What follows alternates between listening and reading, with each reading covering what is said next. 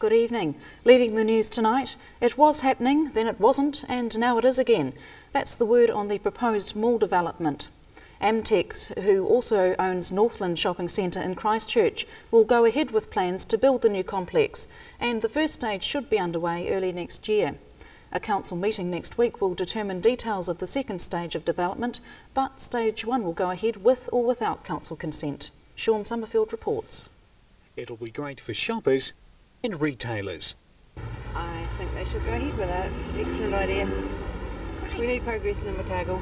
Well, I think it would be a good idea, yeah, of course it would. I'd sooner have it down south in Invercargill. Yeah, it'd be fine.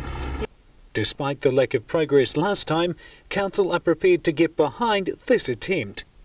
Well, the City Council really has to start looking at um, its role in terms of the car parking, its uh, uh, role in terms of a catalyst for the whole development for the city.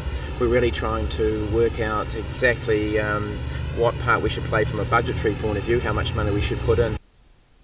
And Amtex aren't the only people with plans for the city. This is one proposal. There are a number of proposals that are on the table, uh, so things are looking pretty exciting. Car parking was one of the biggest hurdles last time. Now the council seems ready to negotiate. Uh, in this particular issue, the car parking is the major issue.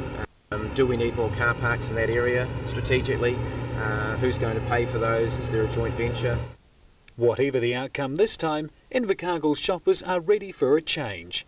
Well, I think anything that's that's uh, going to be an improvement to the to the city is is acceptable, and isn't it really? I think it's pretty important. Yeah, it needs to be done something because it's you know, town looks pretty grubby in that. It'll be quite a good idea actually. It needs it.